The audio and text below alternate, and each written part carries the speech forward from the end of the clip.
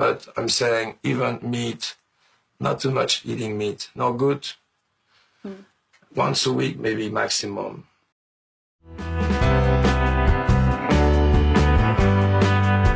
And then vegetable, hummus, uh, all good Arabic food, Middle East, like in the old time.